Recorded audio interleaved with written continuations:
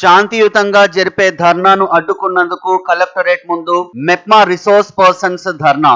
గత పద్దెనిమిది రోజులుగా మెప్మా ఆర్పీలు తమ న్యాయమైన డిమాండ్లను పరిష్కరించాలంటూ వివిధ పద్ధతులలో ధర్నాలు నిరసనలు తెలియజేస్తున్నా ప్రభుత్వం పట్టించుకోవట్లేదని తమను అక్రమ అరెస్టులు చేస్తూ భయభ్రాంతులకు గురి చేస్తూ న్యాయమైన డిమాండ్ల సాధనకు శాంతియుతంగా జరిపే ధర్నాను అడ్డుకోవటం బాధాకరమన్నారు. మెప్మా రిసోర్స్ పర్సన్ విజయలక్ష్మి మాట్లాడుతూ తమ నిరసనలు ధర్నాలకు ప్రభుత్వం నుండి స్పందన లభించకపోవడం పరిష్కార మార్గాలు చూపకపోవడంతో ప్రభుత్వ నిర్లక్ష్యానికి నిరసనగా చెలో హైదరాబాద్ కార్యక్రమానికి సన్నద్ధం అవుతుండగా అక్రమంగా బలవంతపు అరెస్టులు చేయడం అన్యాయమని పదహారు రంగాలలో సేవలు అందిస్తూ ప్రభుత్వానికి ప్రజలకు వారధిగా పనిచేస్తున్న తమకు పద్దెనిమిది వేల కనీస వేతనం అందించాలని తమను ప్రభుత్వ ఉద్యోగులుగా గుర్తించాలని తమ న్యాయమైన డిమాండ్లు తీరే వరకు పోరాటం ఆపేది లేదని తెలిపారు.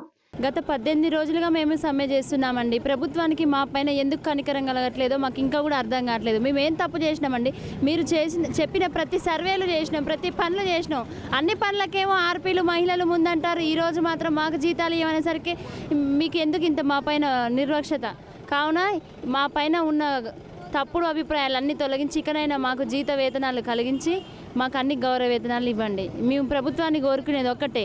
మమ్మల్ని కూడా కనీసం ఉద్యోగ ఉద్యోగస్తులుగా గుర్తించి మా కష్టాలను గట్టెక్కించగలని కోరుకుంటున్నాం. అందరం కలిసి పద్దెనిమిది రోజుల నుంచి సమ్మె చేస్తూనే ఉన్నాము. అయినా కూడా ప్రభుత్వం ఇంకా గుర్తించట్లేదు మమ్మల్ని.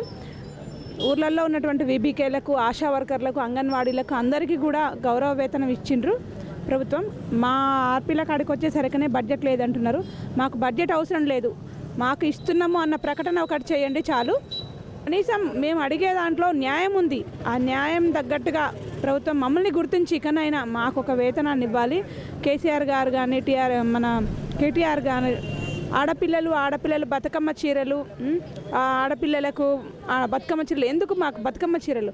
మాకు అవసరం లేదు. మా కనీసం మా కుటుంబాలకు మేము చేదోడుగా ఉండడం కోసం మా కనీస జీతాన్ని మాకు ఇవ్వండి. కనీస వేతనాన్ని మాకు ప్రకటించండి. ఇప్పటికైనా గుర్తించి మా యొక్క కష్టానికి తగ్గ వేతనాన్ని ఇవ్వమని మేము డిమాండ్స్ ఏమీ లేవు. కోరుకుంటున్నాం. ఈ కార్యక్రమంలో జ్యోతి శంకరమ్మ నాగలక్ష్మి వినోద ప్రమీల లత మహేశ్వరి తదితరులు పాల్గొన్నారు.